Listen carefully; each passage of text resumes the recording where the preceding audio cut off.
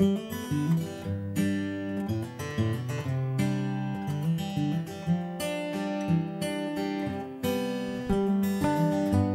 a Ferentino, in provincia di Frosinone. Qui davanti a me la Valle del Sacco, ma Ferentino si caratterizza anche dal centro storico perfettamente conservato e dall'artigianato, che è tutto da scoprire.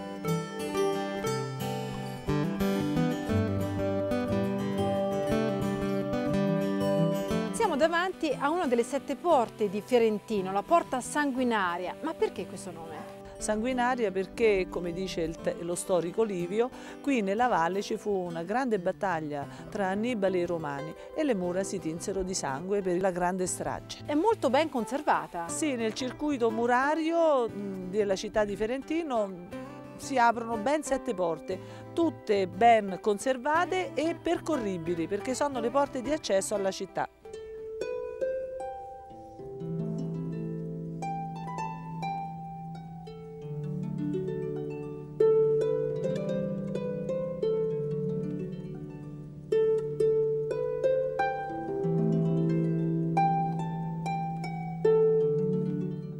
Questa è una chiesa gotico-cistercense e ha delle particolarità. Sì, è la chiesa dedicata alla Madonna Assunta in Cielo e infatti si chiama Santa Maria Maggiore. Maggiore perché è la più grande chiesa di Ferentino e ha origini antichissime. Dagli scavi archeologici è risultato che nelle fondazioni ci sono reperti che risalgono a due precedenti chiese, in particolare la più antica del V-VII secolo d.C.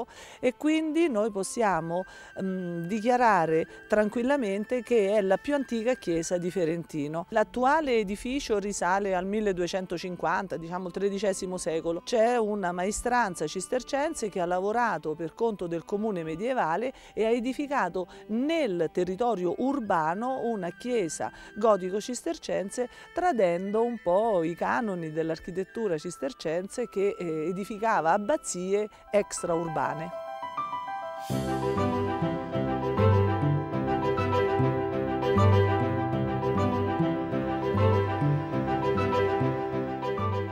E quando a Ferentino parliamo di artigianato non si può non parlare dell'argilla. E qui siamo in un'azienda del 1700. L'argilla, come vedi, è molto sottile, viene ricavata dal terreno qui eh, in zona e impastata semplicemente con acqua.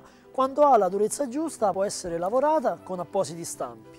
Ce ne sono di vari tipi, di metallo, di gesso, di legno. Ecco, che prodotto esce dall'argilla? Possiamo fondamentalmente produrre qualsiasi oggetto sia mattoni, vasellame, sculture e così via. Tutte le materie prime sono presenti sui terreni aziendali, sia i vari tipi di argille, sia l'acqua nel laghetto che è qui sotto, sia il legname che utilizziamo poi per cuocere i mattoni che è preso dai boschi nostri qui di fronte.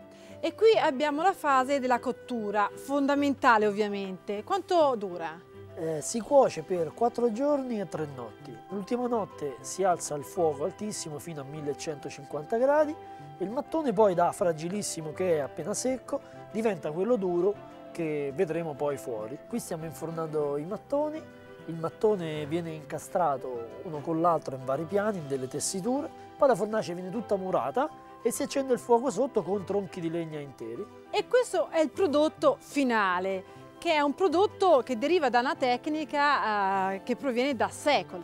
La stessa tecnica dei, dei romani, è questo il motivo per cui i mattoni hanno la stessa bellezza e soprattutto la stessa resistenza e durata. E quindi con una concezione del passato che persiste nel presente e nel futuro, da Ferentino io vi saluto.